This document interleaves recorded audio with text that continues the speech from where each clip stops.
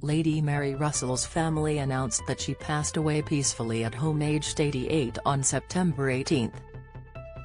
The Queen's coronation train was 21 feet long and Lady Mary helped to carry it as the Queen walked down the aisle at Westminster Abbey towards the Archbishop of Canterbury, Geoffrey Fisher.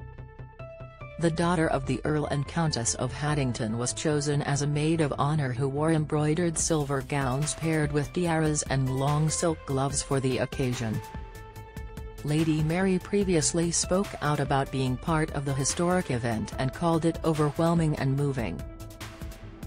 She said, of all the girls our age in the country, we six girls were chosen to carry the Queen's train and that meant a great deal.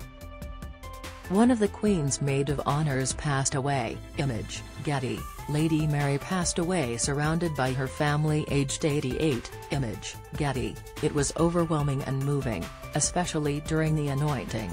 It was an incredible moment, but all I could think about was how heavy the embroidery felt.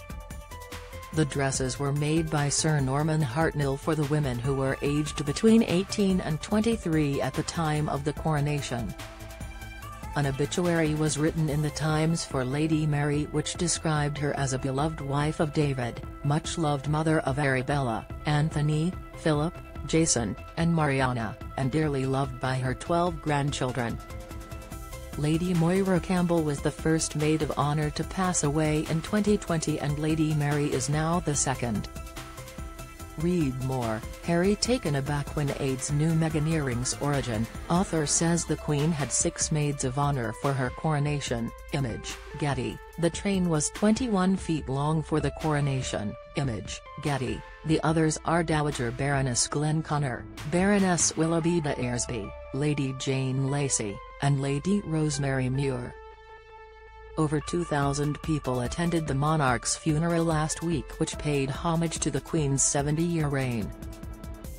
A number of those who were close to the Queen or worked with her spoke out about her personality.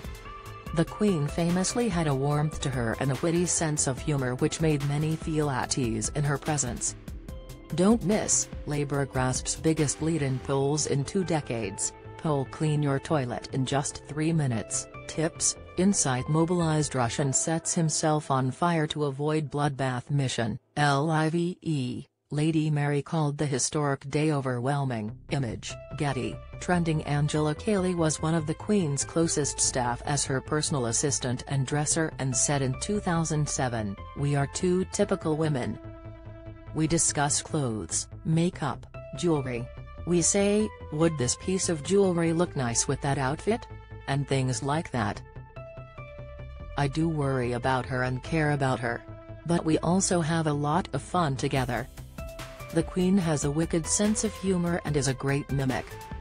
She can do all accents, including mine.